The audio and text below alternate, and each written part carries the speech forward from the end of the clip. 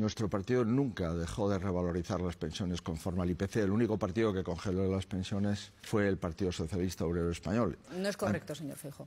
Es absolutamente correcto. El No lo hicieron ni en 2012, ni en 2013, ni en el año Yo 2017. no sé de dónde saca usted eso. La primera de ellas, el 30 de diciembre del 2011, fue acordar una revalorización de las pensiones del 1%. Hoy se ha conocido el dato avanzado, no es el definitivo, es el anticipado del IPC, que se sitúa en el 2,9%. Con esas cifras, el Gobierno no puede hacer frente por la situación de la Tesorería de la Seguridad Social a una actualización del 1,9%.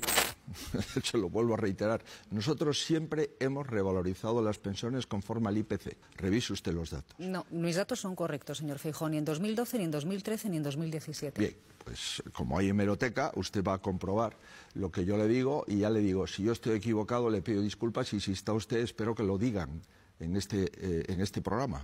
Porque le reitero, el Partido Popular ha revalorizado las pensiones conforme al IPC.